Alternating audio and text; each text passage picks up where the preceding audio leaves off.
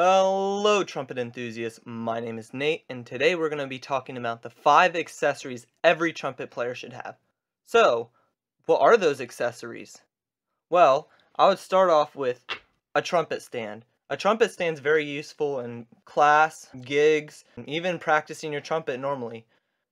And all you do is slide it in, and then you can set it up like this. It keeps it from knocking over, and it it keeps your trumpet safe. The second thing is a quiet mute. Quiet mute is it makes it quiet.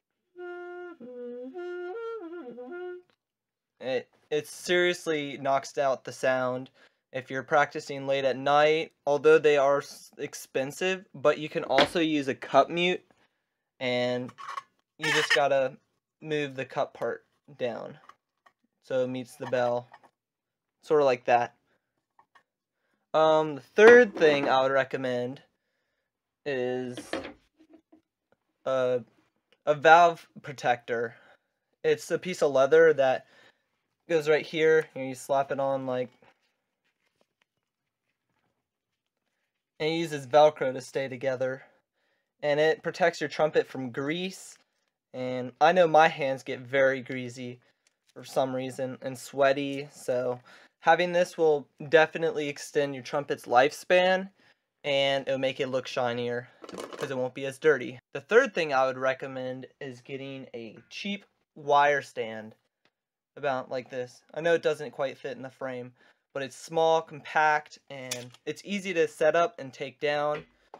It folds up into this space, very, very small, about the size of my arm. If you're going on vacation, this is perfect. The last accessory I would recommend any trumpet player to have, and every trumpet player to have, is a big case.